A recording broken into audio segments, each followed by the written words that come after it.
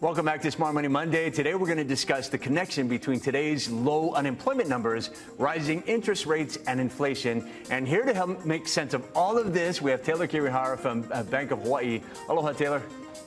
Aloha, Steve. So, Taylor, we just had a new jobs report that showed solid growth, an unemployment rate of only 3.7%. That's good news, right?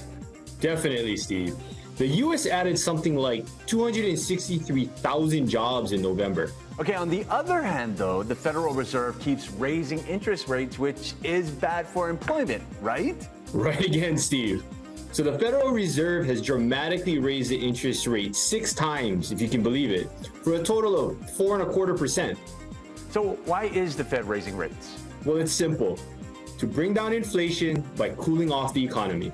So, what does inflation have to do with the low unemployment? Kind of a lot.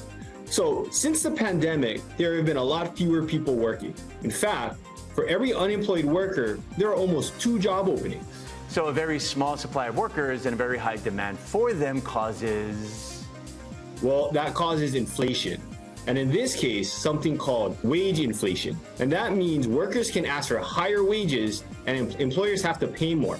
And once wage inflation sets into the economy, it's hard to reverse it. Which I guess brings us back to the Fed raising interest rates. Exactly. So to slow wage inflation, the, the Fed raises interest rates to cool down the economy. So even if the cooling off of the economy results in increasing unemployment. Yes. So the Fed is trying to engineer what's called a soft landing, where they cool off the economy just enough to bring down inflation without causing a deep recession.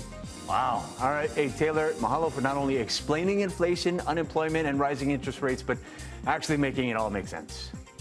My pleasure, Steve. Mahalo. Mahalo. And thank you for watching Smart Money Monday. Thanks, Taylor.